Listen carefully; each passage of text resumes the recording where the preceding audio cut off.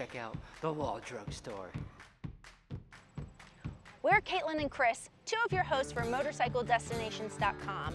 And while traveling through South Dakota, we wanted to make sure we knew exactly what places to check out along the way.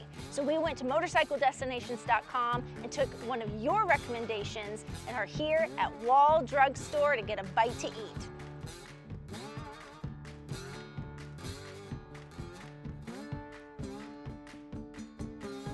Chris and I were coming from Sturgis, so the ride in, not that exciting, just interstate.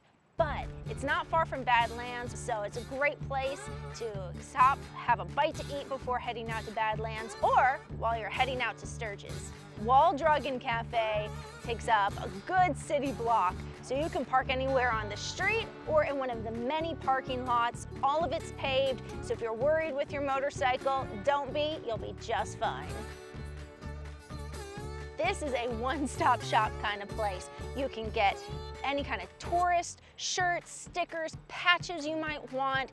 You have everything from bookshop to jewelry stores to a fudgery. If you're like Chris and I and try to do more camping, they have camping supplies, which is really nice when sometimes when you're out in the middle of nowhere, it's hard to find some of those camping essentials.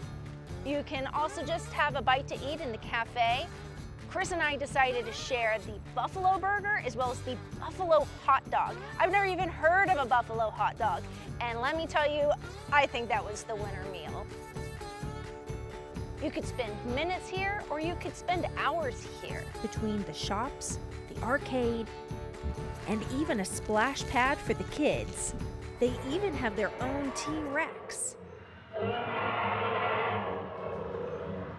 All the old photos and historical info about Wall Drug Store and the area of South Dakota.